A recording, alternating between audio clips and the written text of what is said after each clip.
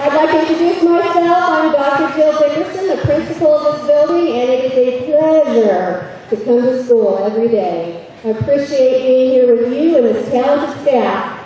And today I'm going to talk a little bit about a program that we did last year. Last spring, the Tonganoxie School District implemented a green high-performance school improvement project throughout the district. In support of this and this commitment to green schools, the Tonganoxie Middle School sixth graders and their science teacher, Mr. Bush, wave to us, Mr. Bush. Yeah.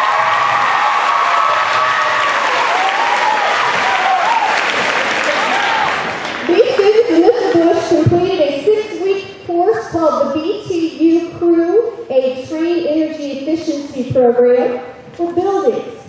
And the students were given an interactive overview of energy efficiency and an introduction to related STEM careers.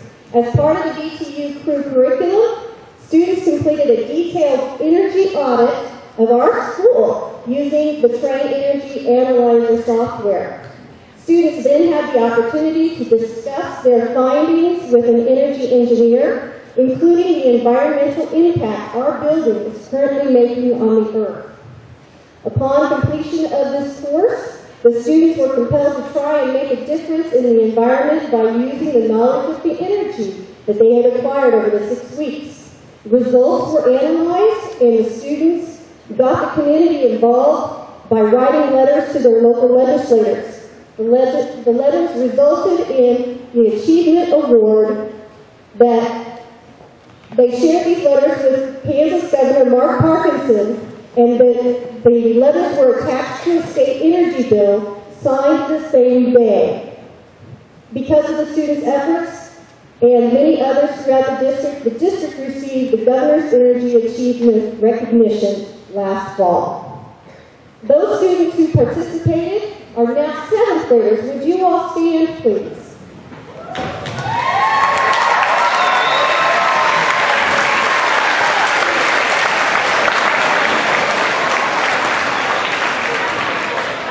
Several of these students came to visit with Governor And they came to school after school was let out for the summer, and they traveled to Topeka to talk to the governor. That is impressive. Let's give them a round of applause.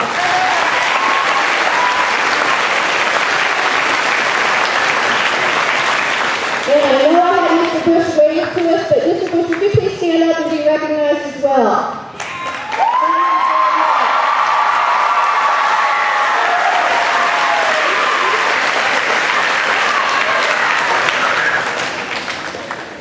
It is amazing the things that are happening in classrooms here today. And I would like to continue our conversation now about Green schools by introducing Mr. Kyle Hayden, our superintendent of Tonganoxie 464. Let's welcome him.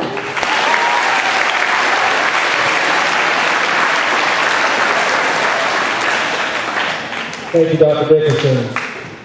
I am, I'm going to start by saying I am very, very impressed with all of you. What a wonderful group of students we have, teachers we have, other staff members. Y'all came in here uh, very orderly, sat down, listened very intently. It takes a wonderful team of people to make all that happen, doesn't it? Yes. Absolutely. Absolutely. And I tell you what, I'm extremely proud of the seventh grade group and what they did last year with the BTU curriculum on the hinges of a Green Schools initiative and a program we had in place to improve our school facilities. And Mr. Bush, thank you very much for your cooperation with that.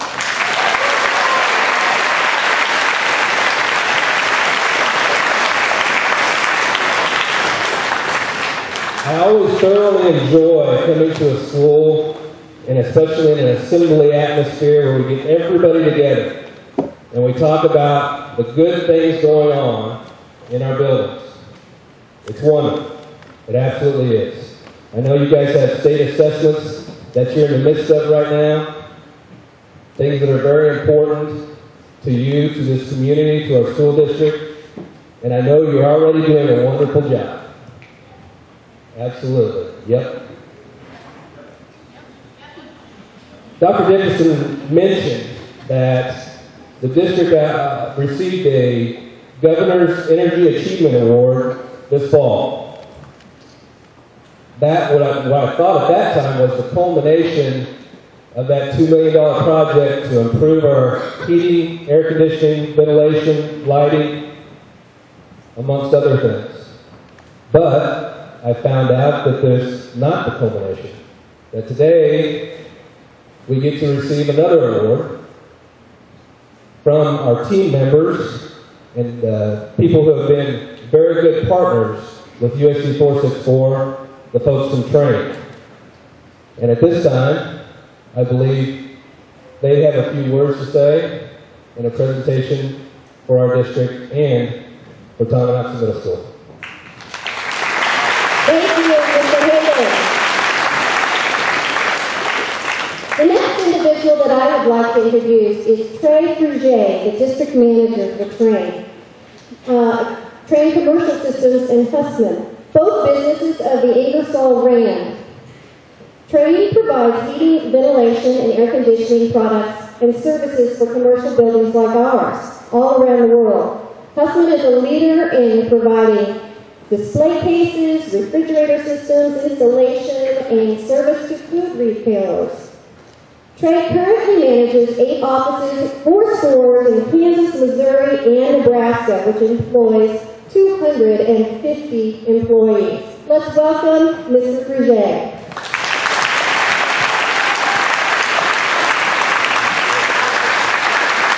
Thank you, Dr. Dickerson.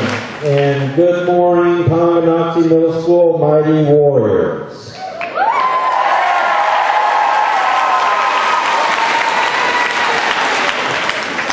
Uh, it's just a great pleasure to be here. Uh, we at Trane are very, very proud of the fact that we got the team with the administration from Tonganoxie to make these upgrades to the schools within the district. Okay. These, these upgrades will not only improve the environment, but it will save the district about $217,000 a year in operating, maintenance, and utility costs. You know, in addition to that, you know, Tonganoxie Middle School took, a, took great advantage of the renovations, okay, as a learning experiment in participating in the BTU program within the, the district here. And my, my colleague and friend Kevin will talk a little bit more about that in a little bit. Uh, in addition to being good for the environment, the systems that were chosen for these facilities not only improve the environment, but studies show that it will improve the learning environment also within the school here, so that each one of you can have a better environment to learn in now, and, and also for future students of the Tonganoxie District. I'm not sure if you're aware, but uh, Earth Day is soon upon us. April 22nd is Earth Day. Earth Day is a day in which all the people of the world can come together and work together on ways to improve the Earth and make it a better place to live. Everyone within Trane is going to be participating in Earth Day in one way or the other, and we would like for the folks here at Tonganoxie Middle School to be able to participate in that also. We have brought with us a couple of large boxes of flower bulbs okay, that I'll be leaving here with Dr. Dickerson. And hopefully that you guys can find some time on Earth Day, April 22nd, to go out and plant these around your school. From the administrators within the Tonganoxie districts, to the teachers, to each one of the students that have embraced it, you guys have really embraced becoming more environmentally responsible, while at the same time, you know, improving the environment in which you spend all day learning. And for that, you are to be congratulated.